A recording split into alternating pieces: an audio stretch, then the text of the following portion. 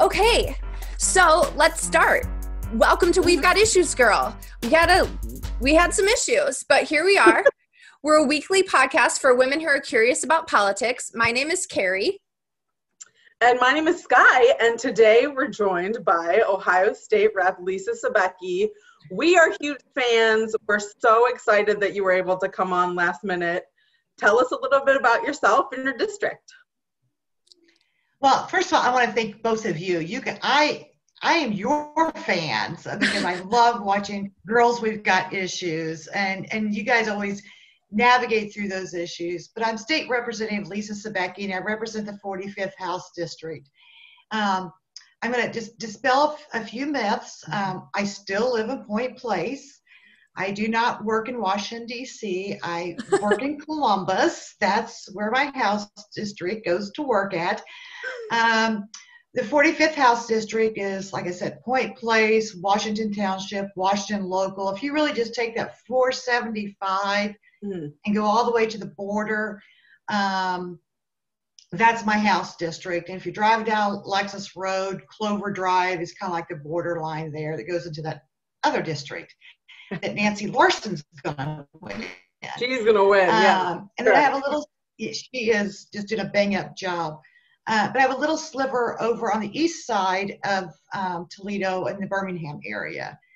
Uh, okay. Served for about eight years on the Toledo Board of Education, took a little bit of a break to watch my boys finish up high school and not be a hypocrite of what I always tell every parent when I was on the school board is you need to watch your high schooler.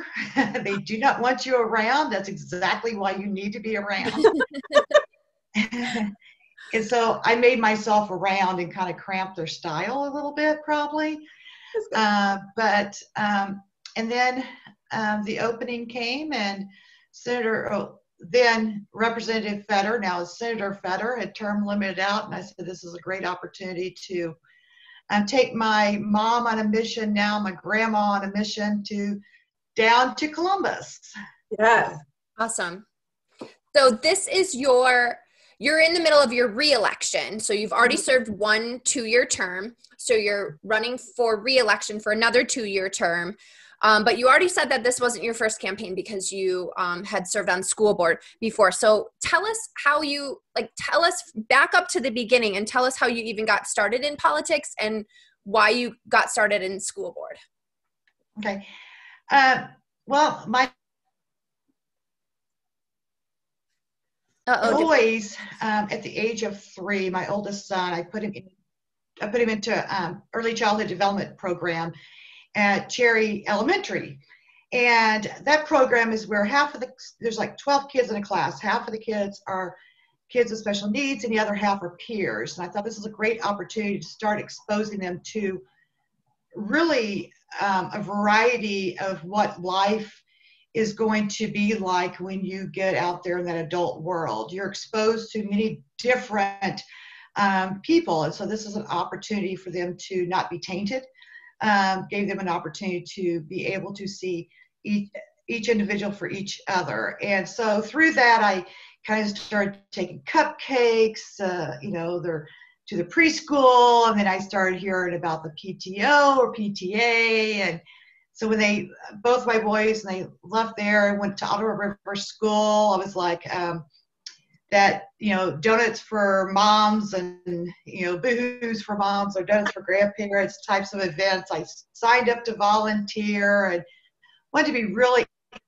active in their school life. And um, a good friend of mine had reached out to me and said hey why don't you get involved with the parent organization there? So i i did. And i also had a lot of questions about what is you know there were being cuts being made and i just didn't really understand why are we cutting into public education? So i thought well i'll get involved i'll understand. Went to some school board meetings did a little bit more digging um, and got onto the parent group did some more digging and said you know it's really not a lot of the local school board members issues uh, or they are their issues but a lot of them are driven from what happens in columbus so from there, I went and did some lobbying in Columbus and um, went to the finance committee meetings and did um, speeches there and talked about why they should be funding school and then I thought, you know, we really got to rally our parents behind. So under Dr. Eugene Sanders, um, we started a group called um, the Parent Congress. And what this did is brought all those PTO presidents together so that we could all have a conversation about what's happening in their schools so that we could have a clearer conversation with the administration. From that just kind of people there was openings on the school board um, in 2007 with a projected deficit of 125 million dollars in five years. So ran to that job. Yeah. Um, and there was two people running well there was about seven or eight people running for two seats. And that is also the year that jack ford um, said that hey i'm going to run for school board i'm going to come from um, the state house and come down back to the school board and see if we could help. So, ran a, a really amazing campaign. Um, came in about 600 votes behind then Mayor Jack Ford. So my first campaign ever running, and thought, wow, that's pretty incredible. We did multiple debates. You know, the, the old way that we could do campaigning, um, which is not the old way now because of the pandemic.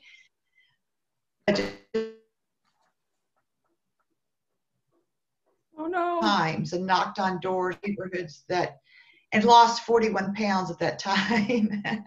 oh wow! But um, yeah, that, that, that, was a lot of walking that summer. Yeah. Some probably see me now. Those are not. I found everyone has, excuse me, 41 pounds since then.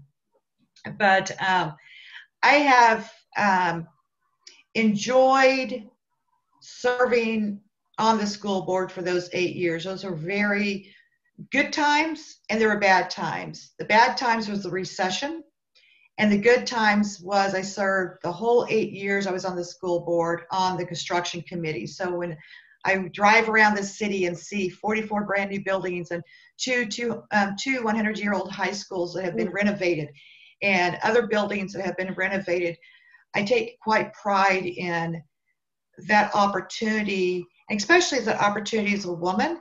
Because uh, a lot of people said, You don't know anything about construction. I said, You're exactly right. I don't, but I will learn. There yeah. you go. Yeah.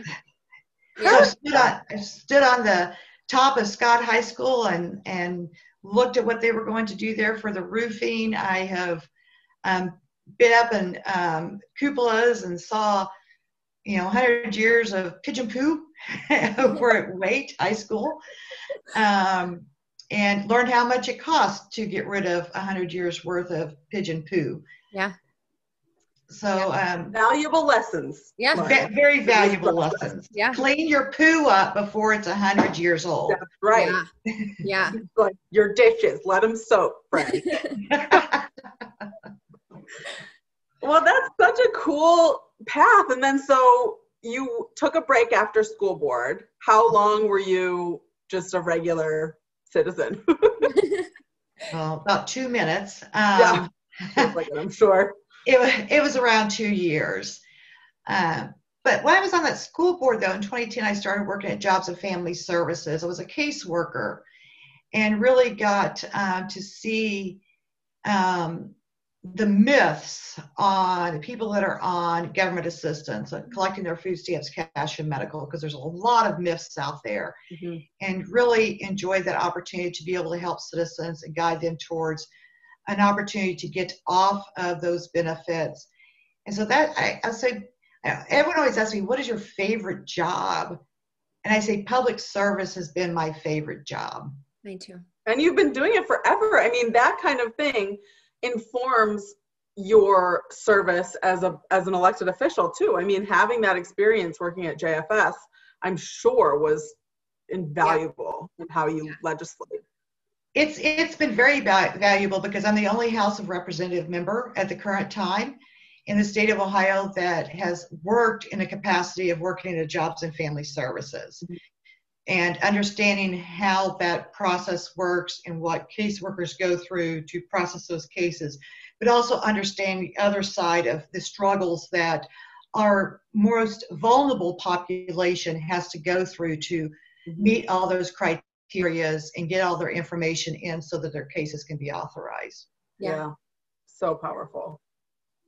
So when I was running last year, uh, you were actually the first female elected official to reach out to me and give me advice. Um, and then you continued to check in on me throughout my campaign, which I really appreciate. I think that was the most thoughtful thing because you and I didn't really know each other that well back then either. So um, I just really appreciate that. And then I see you doing it again with first time candidates this year, like Katie Moline. Um, so what inspired you to do that? Why why do you think it's important for women to stick together like that? I think it's really important because something I discovered when I first started running and in other positions I have looked at, I the predominantly male um, counterparts are always telling me as a woman, you're not ready, it's not your turn, um, you have to wait, we have someone else in mind. And it was, I was like, wait a second, I'm having my hand up. Mm-hmm. Um, wanting to be involved and then I, I also started witnessing that there was other women that were wanting to come up into the politics in this area and they were being told the same thing so and so i thought it was very important that the things that i had to go through and the things that i learned and some of them weren't so bright and cheery. Um, some are pretty doom and gloom that I didn't want any other female to have to go through those. So I thought, it, I think it's just very important to reach out um, and be honest yeah. and um, bounce ideas off. My ideas aren't always the best, and but um, collectively together we come up with some really good, uh, phenomenal things. I mean, look what you and Sky have done. I mean, this is just awesome what you guys are doing for our community and for women to get those messages out there. So supporting those, and if we're going to make any inroads, we have to support each other. And so, and that's and that's sometimes through the hardest of times, though, because um, you know we get we get poked on and we get prodded on and we get told to you know take your chair and leave my table. Mm-hmm. And I just say, well, you can take my chair away, but I'm still going to stand here at your table. I might even stand up on top of your table um, because I, I'm just, I'm just not my type of personality to sit back and, and be quiet. Yeah. Yeah. Hell yeah. That's awesome. I'm so glad we have you representing us at the State House. Yeah. That's awesome. Yeah. Who are your role models? Uh, I will say my very my I come from a family with there's five girls. I got four other sisters. And um, so I'm going to say my biggest role model has been my mother. Um, she's no longer here with us. Um, she died at a very young age from colon cancer, but she was a, a public school teacher in Missouri.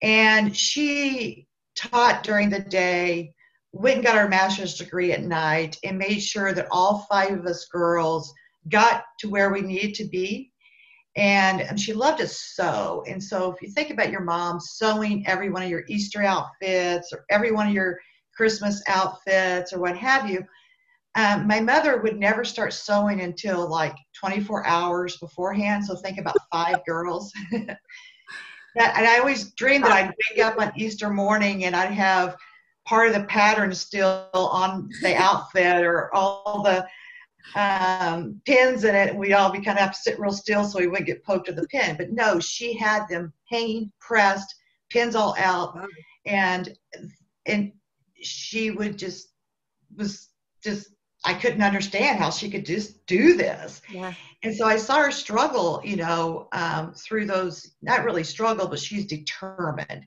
Mm. Um, and so just watching her she's been my my biggest role model. And so you know i, I tell her all the time I, I talk to her all the time going mom I, I hear you on my shoulder. You're slapping me about education. You're slapping me about what these men are doing. Mm-hmm. um, and, and stay strong. So she's just been my my biggest role model. That's amazing. That's awesome. So talking about your mom slapping you for what these men are doing. we we've talked to a couple state reps on this podcast so far. We talked to um, Paula Hicks Hudson, Juanita Brent. Um, so we've we've said a number of times that the state house in Ohio is overwhelmingly male, white male. Mm-hmm. So how what is it what was it like your first term to kind of walk in, you're a new woman, new newly elected, to all these men and where do you find the strength to assert yourself share your opinion um, fight you know w- do whatever you have to do when it's when you are surrounded by men Well, I'll tell you that, that the day that we got sworn in, July this, uh, excuse, July, January 7th, I remember afterwards, my youngest son, I keep saying my youngest son, he's 20. Uh, so say probably my youngest adult son, um, has said, you know, he, he comes to me and he goes, wow, mom, he goes, there's a lot of white old dudes down there. and I said, well, welcome to my world. And Yeah. you're exactly right. And he goes, I could really see the divide in the House. He goes, I could really see where the Republicans sat and where the Democrats sat. And I said, well, well, besides a lot of old white dudes, what else did you recognize? And he goes, on the Democratic side, I could see diversity. I could see women on there. I could see black people on there. I could see, you know, Hispanic on there. And he goes, that really resonated with him, um, just having that, showing that picture in his mind. And, he, and we still talk about it somewhat. But, um, and I knew right then it was going to be an interesting time, especially being a freshman legislator, especially from Toledo, uh, because we're so dis. It seems like we're, we're like disconnected in, Yeah. from Toledo to Columbus. Yeah. But what I made sure that I did the first hundred days was I met with each one of the legislators and knocked on their doors, had meetings with them, and had conversations about what like issues we have. Because I felt like I couldn't start off my job if I didn't know my colleagues. Kind of like that your first day on work, Yeah. you kind of get to know who Yeah. who good, you know, water cooler people are, and who's going to bring the brownies, and Yeah. and who's going to pay for lunch, or or what have you. I love that idea. Yeah. That's awesome. He's kind of the cool kid. So that's what I spent the first hundred days, and people kept saying, well, "What's your bills? What's your bills? What's your bills?" None. I wanted to get to know my colleagues because you can't Sure. start off just work without knowing who you're working with. Yeah. That's awesome. Yeah. Brilliant idea. Everybody should do that. Get to know everybody on both sides of the aisle. Yeah. Absolutely. So, well, one piece of legislation that's introduced every term and, of course, was reintroduced your first term was the heartbeat bill. It essentially bans abortion in about six weeks in the state of Ohio. Mm-hmm. This bill is reintroduced every term, and you stood up the first time it was reintroduced during your first term in a big way. Um, we've heard the story. Would you share that story with that with us? Um, and you talked about this on the floor, Yeah. right? Yep, I did. And, and let me let me kind of set it up for you because I was Yes, please. approached about talking about this on the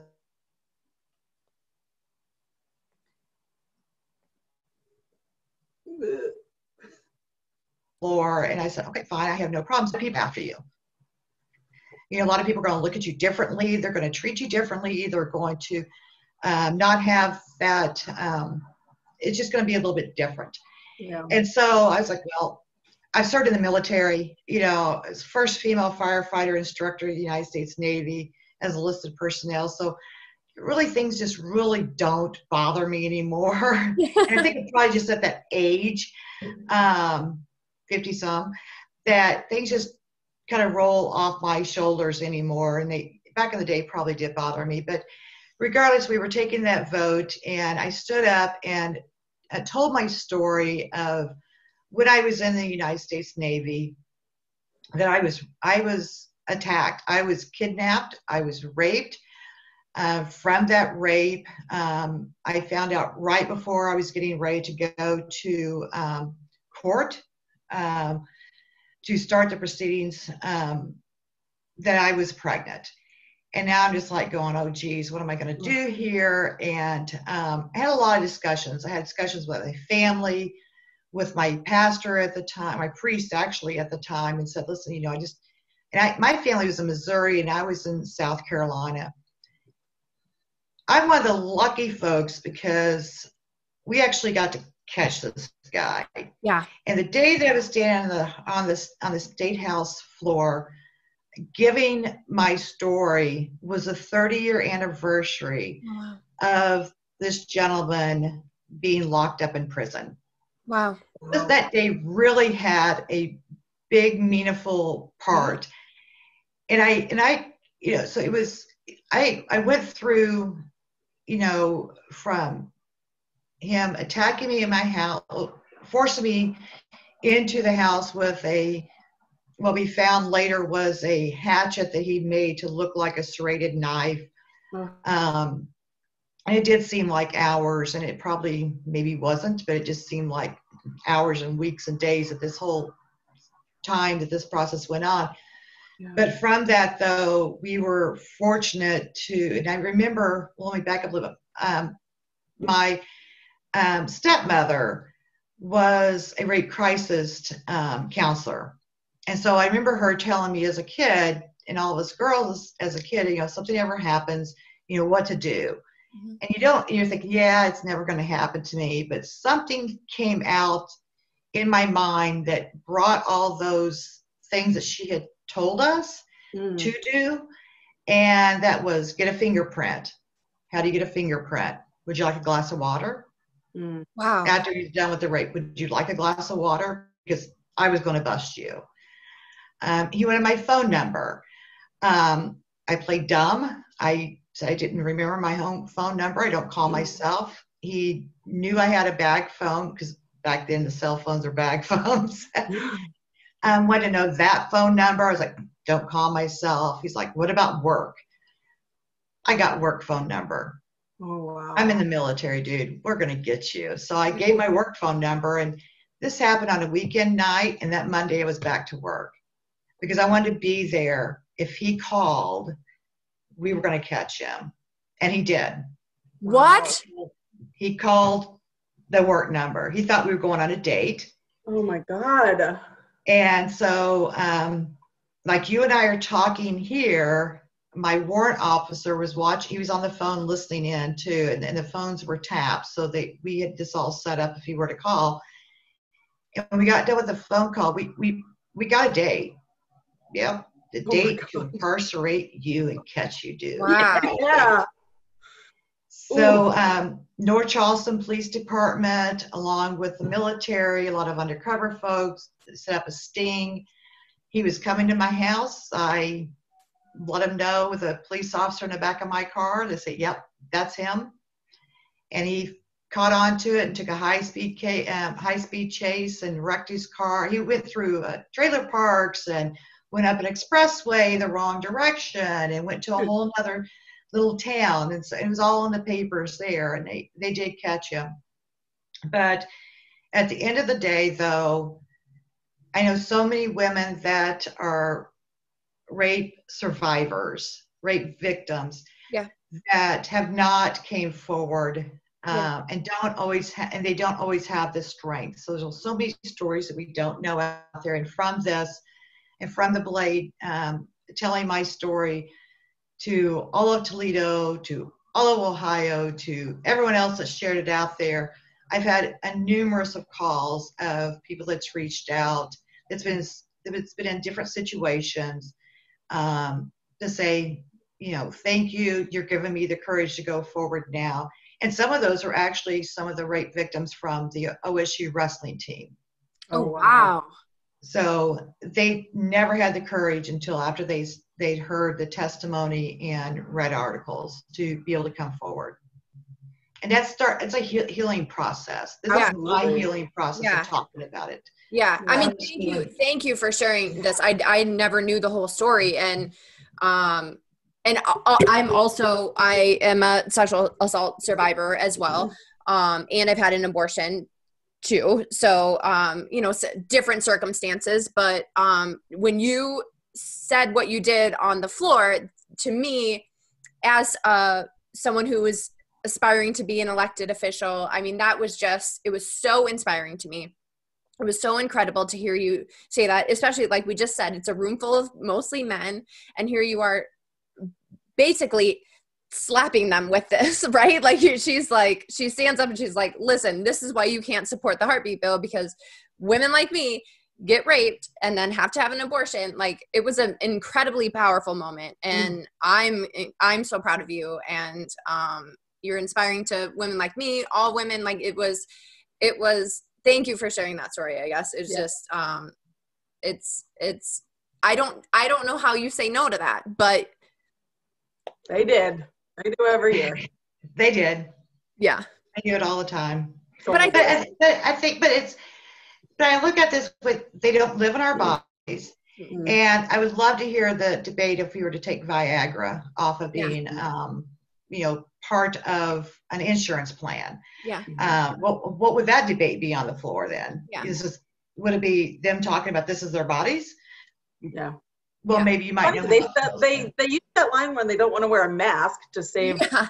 the country from the coronavirus, but yeah, yeah, it's a small inconvenience. yeah, no, it's in it's incredible. Um, so what, like, so in that moment on the floor when you did decide to share your story, did you keep it together? Were you crying? I didn't cry on the floor. I kept, I had a little voice in my head saying, don't cry because I was, you know, if you cry, it's a, unfortunately, it's viewed as a, as a sign of weakness. Yeah. Mm-hmm. And it's not that I was weak. It was, I'm so angry. We're having yeah. to continue to have this conversation. I mean, I know like when I get so mad at my boys, they'll be like, mom, why are you crying? I know. I'm I so do that angry. too. yeah. I got to keep having this conversation. Yeah. Yeah my seatmate, Representative David Leland from the Columbus area, you know, he grabbed my arm. He was like, wow, I didn't know. Now, my sisters in the fight and the House, Democrats, they, they, a lot of them knew my mm-hmm. stories, but the men did not. But I will, but walk, but the whole time telling my story, there are people in the State House chanting. And there were people in the gallery, which we don't have them now because of COVID, but there were so many people that showed up. So I felt that I needed to be strong for their voices. And afterwards, yes, I went and sat in the in the bathroom and just sobbed. Yeah. I was like, wow, this was I, my, my first floor speech. um, I, you know, I'm a freshman. I, I barely even know where the bathroom is in yeah. the state house. And just telling this this whole experience but also listening to my fellow colleagues and their experiences too. Yeah. But the strength was the people that showed up to fight the good fight that gave me the strength for not just bursting out in tears on the house floor. Uh, but i like i said yes i went to the bathroom and i cried like a baby yeah. Some, it's cathartic sometimes. Yeah. I find it a big relief when i can just cry it out. Yeah definitely. Yeah. I mean, I, um, what what kind of advice do you have to other women who may not have found their voice yet, or may may be too fearful to share their story or to stand up um, in a room full of men and and and, and share a story like this? Like, uh, what what what can you tell other women um, to kind of give them some courage? Well, first of all, they're not alone there's mm. so many women out there that have gone um, gone through sexual assault there's so many women that have been through domestic violence uh, you are not alone and um, i say talk to you know we all have girlfriends mm-hmm. and just you know have a cocktail or have a cup of coffee and and talk with your girlfriends and if you don't feel comfortable there is uh, you know if the i always found if i leave things inside i fester yeah. But I mean, I've gotten therapy. Yeah. I'm not I'm not ashamed of it. I love it. Um, it's actually probably for a lot of people's benefits that I yeah. did do it. yeah. But um, going and talking to a therapist, mm-hmm. um, that's a safe space, and, and work through that. And not every and not everybody works through it the same way that I did. Mm-hmm. Um, but how and and I talked with the wrestlers. Is I said, talk you know they were they were married. They were they were scared to tell their wives. And i said well first of all they're the, they're your wives because they love you. Yeah. And so they're they're the they're the judgment free zone. So have a conversation with them. Um, but you'll you know you you know how to how to deal with your own emotions. Everyone's different. But have a conversation reach out to someone um, and if it's me that's gone through it I'm fine with that because sometimes we just need to yell and scream and mm-hmm. holler to get that out. And I have no problem being a listening ear and have been that for a long time to a lot of women. Yeah. Oh, that's so awesome. We yeah. shared yesterday for our 60 days of action um, the Violence Against Women Act um, some information and there's a national domestic violence hotline and a sexual mm-hmm. assault hotline so we'll share that again in the show notes here yeah um, such a vital resource for folks who who need help and who need to talk to someone.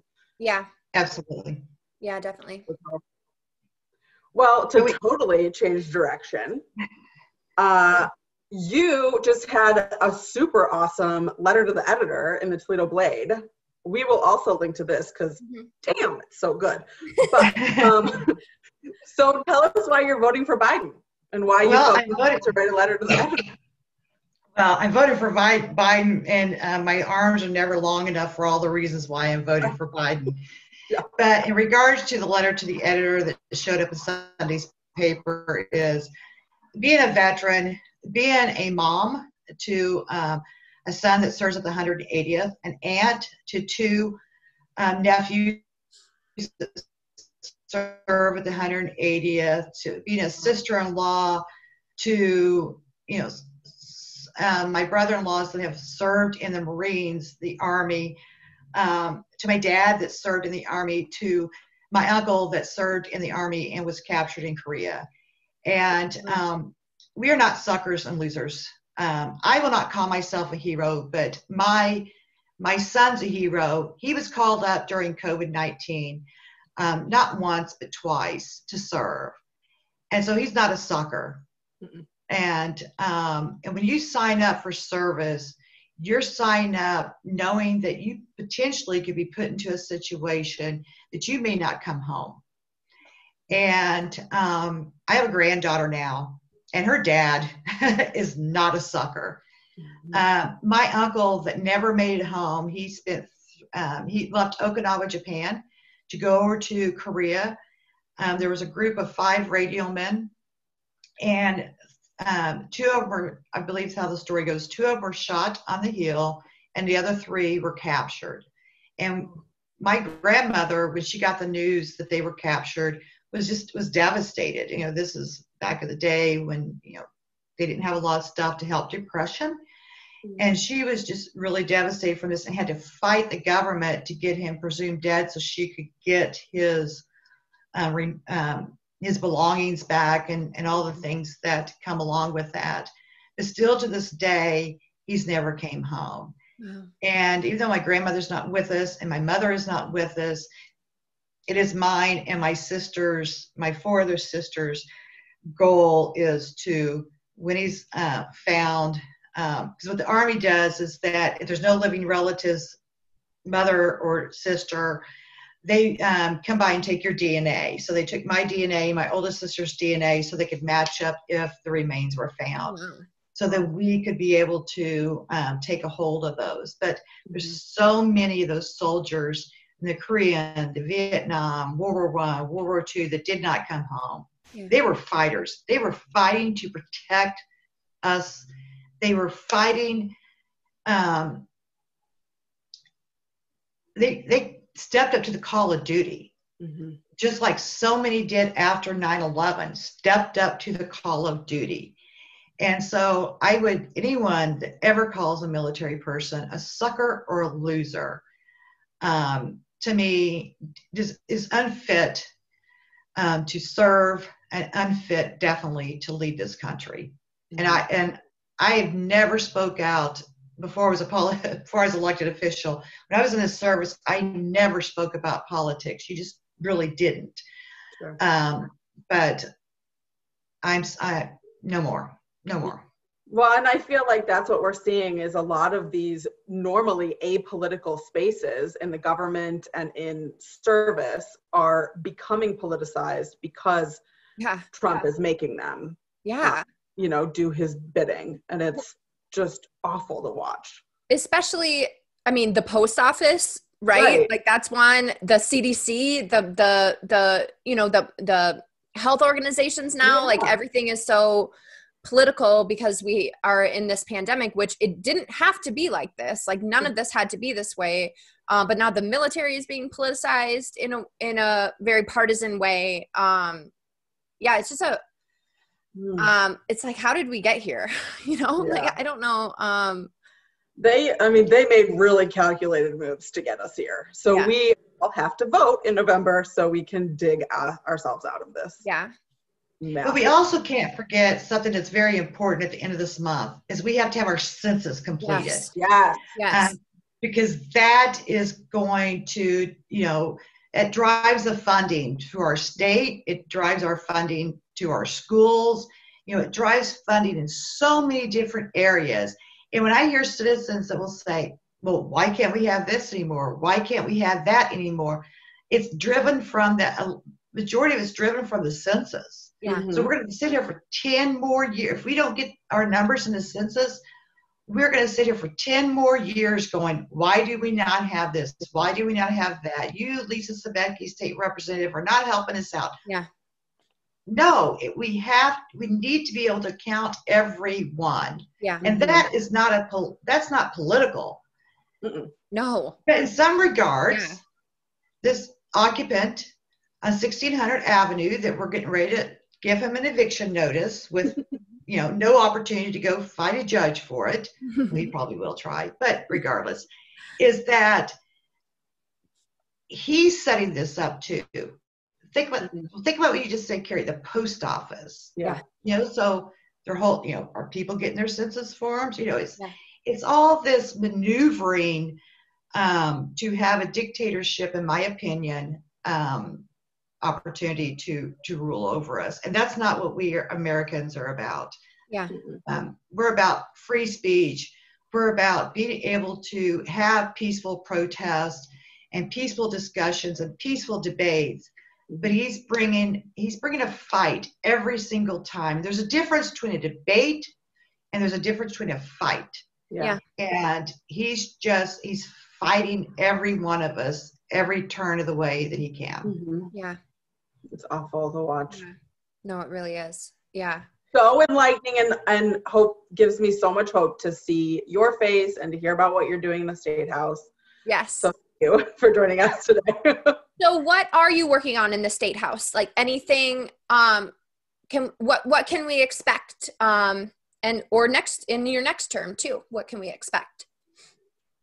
Well um, i will be taking every one of the bills that i did not get passed out of the house which i didn't get i only got one bill passed out of the house and i'm waiting for the senate and that's the name.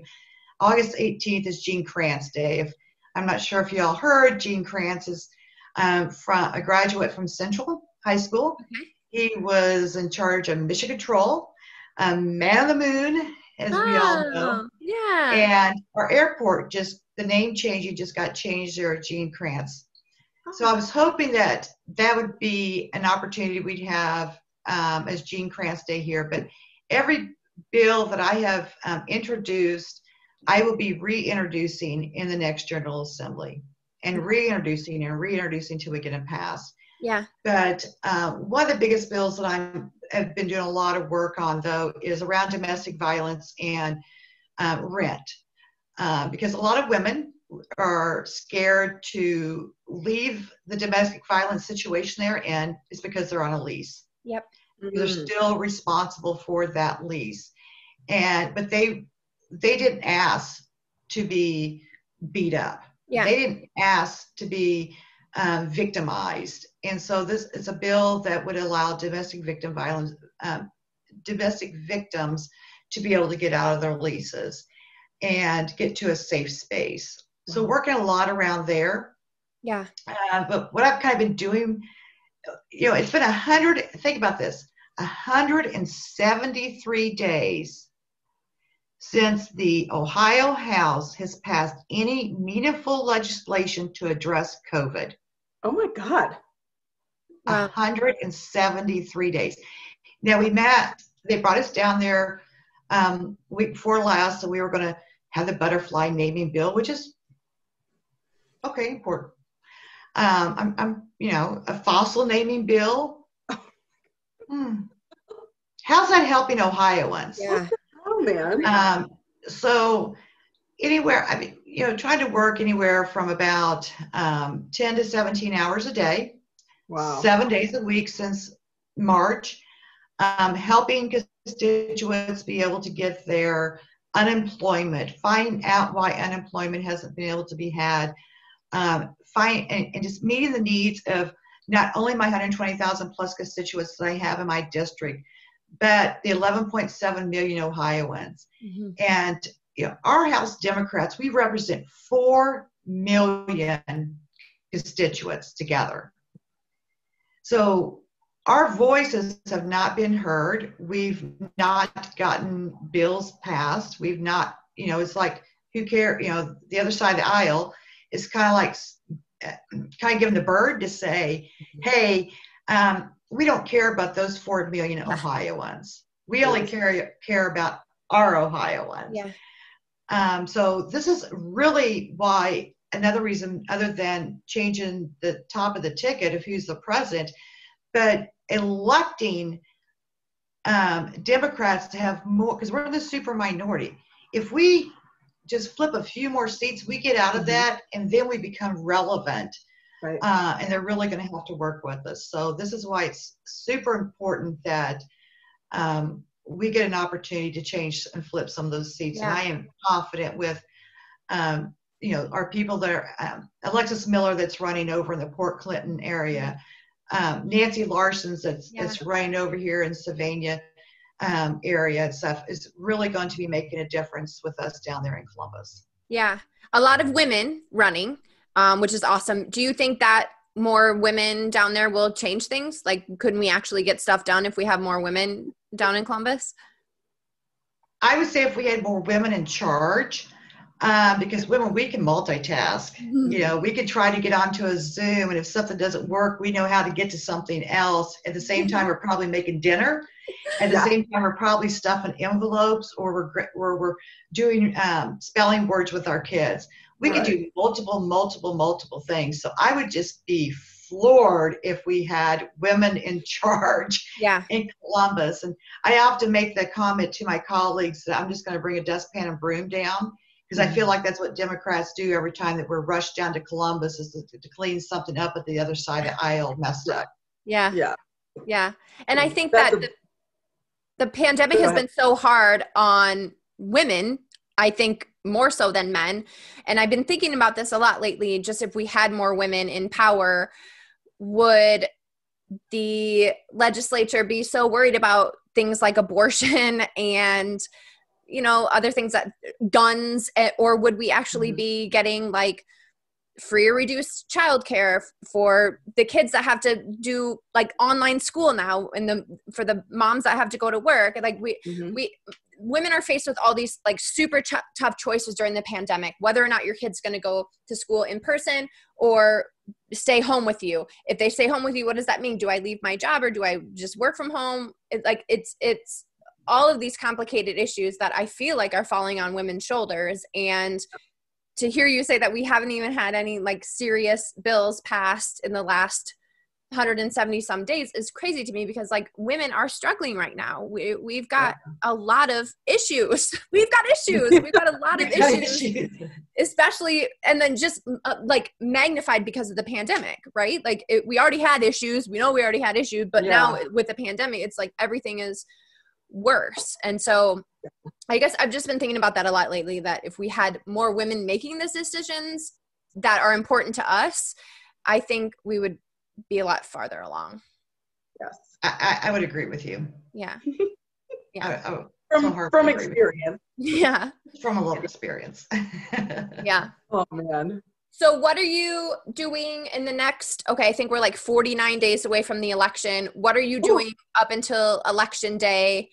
Um, campaigning for Biden a little bit, campaigning for yourself a little bit. Um, how are You're you? You're on the ticket. You're on Yeah. the ballot. Yeah. How are you? Um, like, what are your plans up until election day? Oh, and tell us what your voting plan is too. What? How? How are you going to vote? In person, mail? What are What are your plans? Absentee ballot, um, because I'm, I have a, a sick feeling in my stomach that we're gonna need some help on election day. Mhm. And so I want to be there to be an assist in whatever way we can, answer questions and, and get people to the correct um, polling locations. But between here and November 3rd, continuing, continuing to do my job uh, first and foremost. And that's not being a wife or a mom or grandma. That's being a state representative. I've told them that they got to wait, be on hold. I'll get back to you guys around, you know, 7:31 p.m. on November 3rd, and and, and they're used to this in our house, Yeah. you know. Yeah. Uh, but is continuing to fight and um, to work towards making sure we have the right people in office. Um, if that means go to door to door, hang out a sign, or what have you, make phone calls, raise money, um, and just and, and continue to introduce other candidates to that layer of folks that are out there that maybe they've not got those introductions. So just continuing to do that um, and making phone. I mean, I'm making phone calls all day long. One thing people don't know about me and my friends all know, I like to talk. and I get a lot done on the phone. So you might hear me cleaning my bathrooms as I'm talking to you on the phone, but that's what we do to get the job done or doing laundry or cooking dinner. Yeah. Multitasking. Yeah. Multi multitasking. But um but it's just working every moment up until election day. Uh, it, it also could be my neighbor might need to have her absentee ballot dropped off downtown because she's yeah. uncomfortable with the mail. Yeah. So, you know, if it's whatever I need to do, I'm there and continuing just to just strive to not only get myself reelected, but to help others get elected with me. Because if I don't have if I don't have allies and friends, it makes it a little bit hard. Yeah. yes, absolutely. We are we your ally friends. Yes. Yeah, we are. Oh, I know. You and we appreciated your help on Katie's campaign too. I mean, yeah. gosh, it's so it's so powerful, and you've become a, a huge mentor and inspiration for her, which is really great yeah. to see. I'm just I'm excited for Katie. She is she I, I just I've and you know and really I've watched you guys from from afar and we have some very inspiring um, young ladies in our area and you know with katie she is just doing a yeoman's job and she she's down you know she can get down and in the mm-hmm. weeds and she can get down there and figure out the solutions. Yeah. Um, carrie and sky both of you guys do your own parts in our community though so keep doing those parts. Things like this if, if ha- talking about these difficult um, conversations and not everyone wants to have talk about because let's face it rape and abortion is not really something that people like to have a conversation with over their dinner table but it's reality. Yeah. Domestic violence is reality in our community. Yeah gun violence is a reality in our community. And so until we until we can have those um, reality conversations we're really going to continue to fight the, the, the same old fights. Yeah. so i thank you guys for this opportunity and the platforms that you give people to be able to have conversations outside of social media though but your platform within our community and the good work that you guys do do. Thank you. I appreciate that and thank you for for lifting us up and you hmm. pushed me last year when i needed it and reached out to me when i needed it and i just that i mean i want to that's what i want to be when i am an elected official i want to make sure that i am also lift lift as we climb. That's what Nan Whaley told us, right, Sky? Like we want to lift other women up with us. Yeah. Yeah. So so thank you for joining us today. Thank you for sharing your story with us. Um, it's always a pleasure uh, to talk to you, but um, I, I, hope that our, our listeners fell in love with you too. Um, where can they where can our listeners follow you or donate to your campaign or where can they um, reach out to you? You can reach out to me on my Facebook, Lisa Sobecki, or really that's the best place through my Facebook. If you want to donate to come to my campaign, uh, reach out to me on social media, and I can tell you how to um, where to send those checks. Mm-hmm. Um, I do also have an Act Blue account, so if you go to Act Blue, you can give to Lisa Sobecki there. Uh, but, or also you can. A lot of people know where I live. Just drop that check off right at my house and and I'll exchange you for a yard sign or two or three that I have here too. So stay tuned to Facebook to um, my picture of my fall decorations in my front yard. I think everyone will love them. Okay. Um, i have got a little pun going there with all my yard signs. So. Yeah. yeah. Okay. I love well, it. Thank you. Thank you for joining us. Th- thanks for everybody who tuned in. Um, we're not really getting the um, comments today because we're getting a different platform today, but that's okay. But however, uh, we will be back next Tuesday for a brand new episode. Our guest next Tuesday is a fellow girls girl um, that you guys might recognize, Brienne Godfrey. She's a first time candidate and she is running for trustee up in Bedford, Michigan. And wow, is that race Oh. wild right now? Like Oh it is really heating up. Um, and so I can't wait to talk to her about kind of the struggles that she's going through because um, it's kind of unreal what is happening up in that small town. So she's going to be on next Tuesday. And then we will, we promise we will have somebody on from um, the Biden campaign. Um, it's a surrogate. We are hoping it's a super big celebrity. So um, that's, and maybe that's why they had to uh, postpone. So I'm crossing my fingers that it's Michelle Obama, although I've already been Ooh. told no, but I'm still crossing Ooh. my fingers. I just want You know what I had a dream about though? what? Samantha Bee. I don't even know if oh. she's a Oh. surrogate, but I, you know, she's hilarious and He's hilarious, obviously would be our best friend once we talk to her. obviously. Yeah. Just Yeah, putting no, that out. so- you know, We we're excited. Um, it's going to be a surprise to us too, probably until the day before. So um, uh, we should have them on in the next few weeks to talk all things Biden, um, leading up to November third. So uh, tune in next week. Uh, we'll be here on Facebook, and uh, don't forget to like, rate, review, and subscribe. Um, also, we have our 60 days of action going on too. So um, if you haven't subscribed to the emails, you can also um, see our post here to see just how to help out little little ways to help out every every day um, until the election, so we can all kind of do our part um, and don't leave any cards on the table, right? So, um, right. so thanks, Lisa, and thanks for joining us. And we'll see everybody next week. Bye. Guys. bye.